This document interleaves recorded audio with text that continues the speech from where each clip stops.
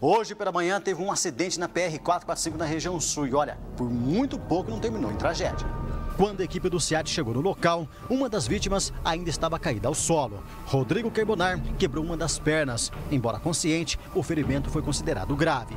Já o outro ocupante da moto, Sérgio Oliveira, machucou o braço, mas sem gravidade. O acidente aconteceu aqui na PR-445, na entrada do Patrimônio Selva, na zona sul de Londrina. Os dois motociclistas estavam atravessando a rodovia quando foram atingidos pelo caminhão. Pelo local da ocorrência, os jovens escaparam com vida por um verdadeiro milagre. A baixa velocidade do caminhão evitou uma tragédia. A colisão foi a poucos metros da sede da Polícia Rodoviária Estadual.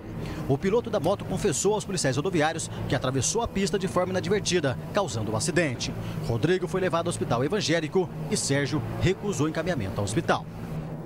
Menos mal, né, pessoal? Olha, só não aconteceu algo mais grave, porque, repito, foi a pouquíssimos metros da sede da, da, da Polícia Rodoviária. Então, o caminhão estava em baixíssima velocidade.